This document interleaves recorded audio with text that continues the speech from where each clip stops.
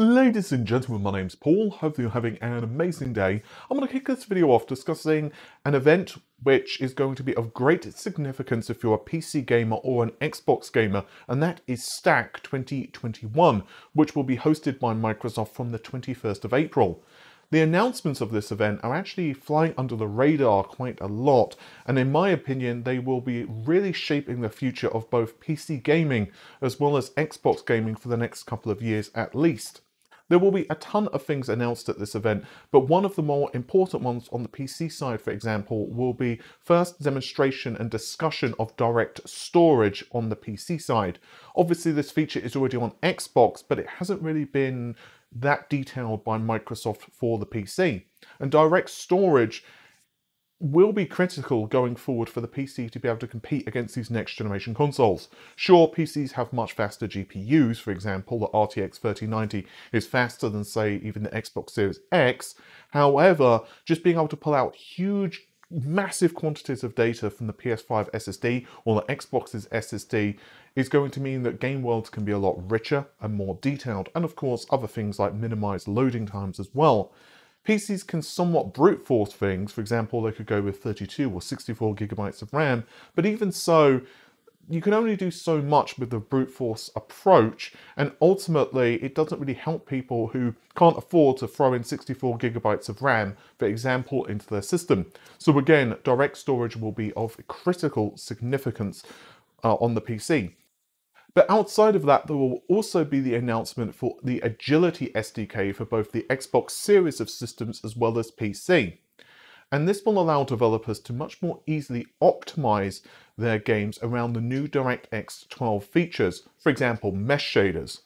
In a recent video, I discussed that mesh shaders, at the moment anyway, haven't really been used in any Xbox game that has been released. They will become a thing for future Xbox games, most probably by the end of this year and certainly next year, but at the moment no released Xbox title is taking advantage of them.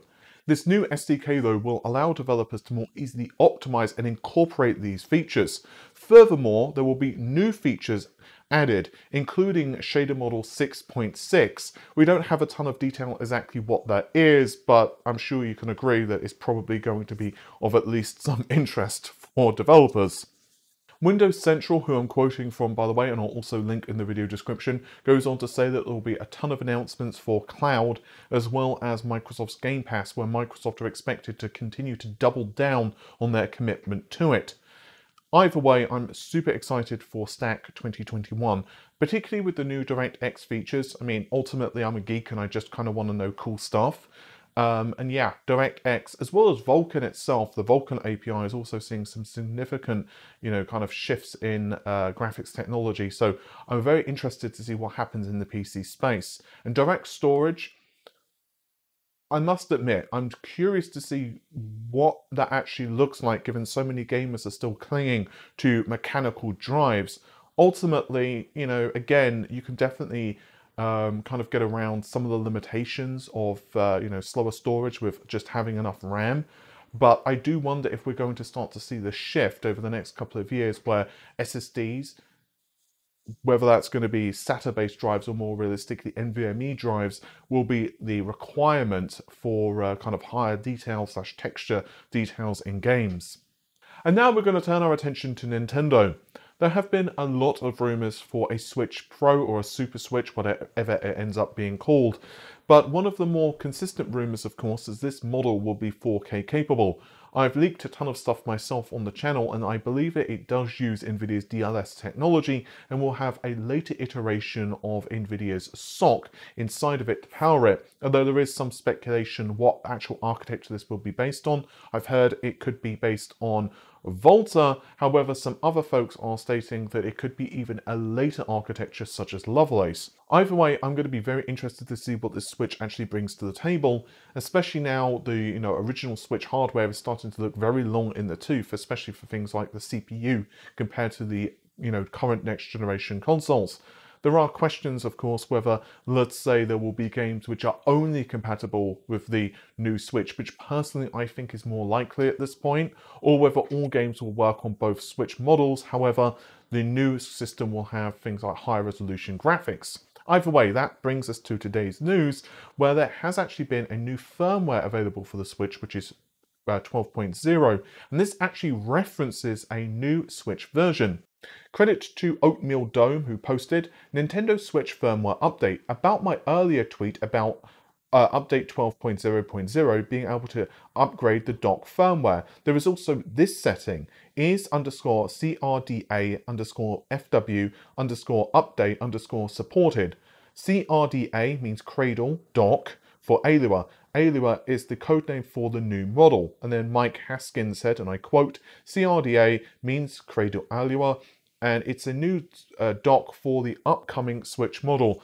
So basically what this means is that there's a check in the code to see which switch you have. Is it the new switch or is it the old switch? And then obviously it will set things according to that particular check. And I think at this point, it's almost certain that Nintendo will actually reveal the Switch this year.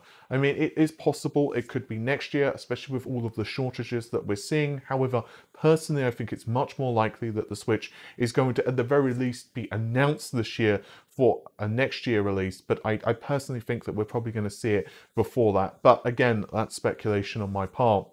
And now we're going to finish the video with a rumor that Hideo Kojima is actually working with Microsoft on an undisclosed game. And this rumor was actually first posted by Jeff Grubb. I'll link, of course, his article in the video description. So this all came about because um, of a rumor that uh, Hideo Kojima was involved with a game called Abandoned. However, the developers themselves have gone on record and said that no, this is not the case.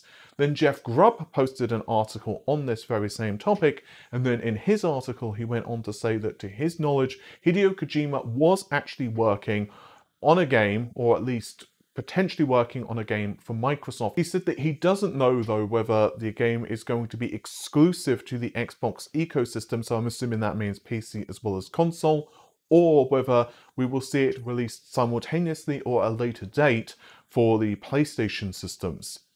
And yeah, this basically, of course, means that Hideo Kojima could potentially be working on a brand new IP, or maybe, um, you know, maybe Microsoft are going to give them one of their IPs or something like that. Maybe it's going to be some type of collaboration. Who the heck knows at this point? And yeah, uh, uh this is also bringing, of course, a lot of questions of what Hideo Kojima will be doing um, with Microsoft. Is it going to be Metal Gear Solid? And I personally don't think that's the case when I first heard about Metal Gear Solid, assuming it's true, and it, at the end of the day, until I see an official announcement, I don't believe anything. But from what I understand, Hideo Kojima was not involved in Metal Gear Solid, which of course was for the PlayStation, not the Xbox. But again, I would caveat that with unless I actually see, you know, gameplay of the damn thing working on the PlayStation 5 and not just an image or two, I'm going to take that with a massive pinch of salt. So Hideo Kojima has a huge fan base, as I'm sure you'll agree, and so him actually working alongside Microsoft is a huge PR win for Microsoft, assuming this information is true.